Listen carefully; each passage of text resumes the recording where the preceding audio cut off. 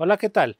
Continuando con el tema de la teleprotección GARD 8000, en esta ocasión vamos a ver el protocolo de NP3. Para este ejemplo, vamos a trabajar el protocolo de NP3 en el modo TCP/IP o lo que es lo mismo por red. Este equipo nos permite reportar por NP3 diferentes variables como son contadores del registro de eventos, alarmas, estado del canal de comunicaciones y estado de disparos.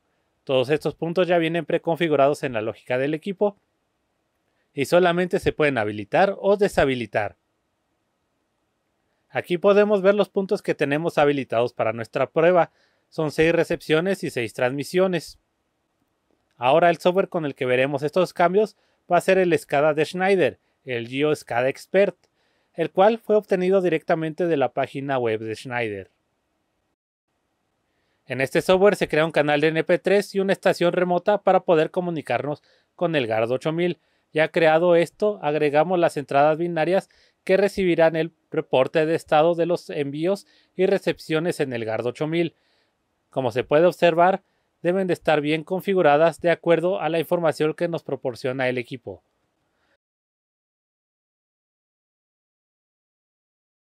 Finalmente tenemos una interfaz gráfica que nos permite ver estos cambios de estado. Para ejecutar esta prueba podemos ver que tenemos nuestro equipo GARD 8000, una laptop con la cual podemos controlar y nuestro sistema SCADA que ya está funcionando e interrogando al GARD 8000 por DNP3. Primero activaremos solo algunas de las recepciones del GARD 8000, las cuales serán la 2, la 4 y la 6. Ejecutamos la prueba y podemos ver cómo los LEDs correspondientes del equipo se encienden. También podemos ver cómo en nuestro sistema SCADA estas recepciones cambian de estado a 1 y podemos comprobar esto en la lista de puntos que nos proporciona el GARD, donde esas mismas recepciones están en 1. Detenemos la prueba. Los LEDs ahora se encuentran apagados y las recepciones en el SCADA cambian a 0. Ahora probamos tanto recepciones como transmisiones. Para esto activamos las funciones 1, 2, 3 y 6 y ejecutamos. Podemos ver que los LEDs correspondientes se han encendido. En el recuadro observamos cómo el estado de estas entradas y salidas cambian de estado y lo podemos comprobar desde la lista de puntos del GARD 8000.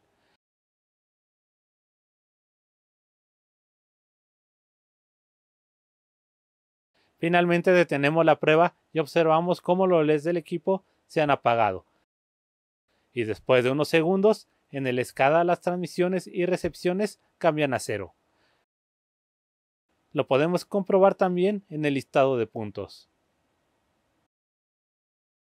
Con esto podemos comprobar cómo el GARD 8000 puede transmitir diferentes variables mediante el protocolo de NP3 y cómo éstas pueden ser integradas a un sistema SCADA.